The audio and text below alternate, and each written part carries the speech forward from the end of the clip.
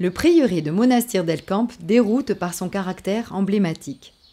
Fondé sur la légende selon laquelle Charlemagne, à son retour victorieux de la bataille de Panissar contre les Sarrasins, en l'an 785, fit une halte au village de Passa.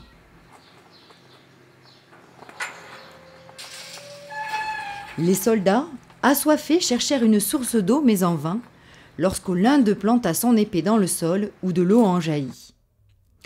En reconnaissance à la Vierge Marie, Charlemagne exigea que soit érigée une chapelle en ce lieu.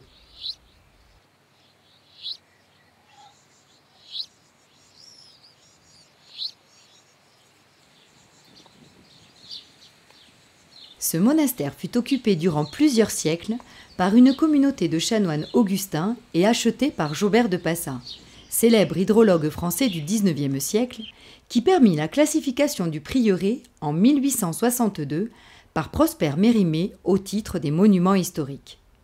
La descendance de cette noble famille vit et travaille toujours au monastère.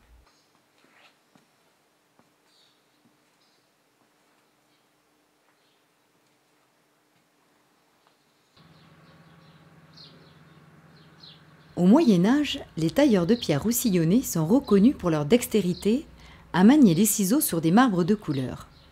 Le maître de Cabestany est l'un d'eux. Grand voyageur énigmatique, il s'arrête sur les bords de la Méditerranée pour réaliser des ouvrages sculptés comme les chapiteaux du monastère.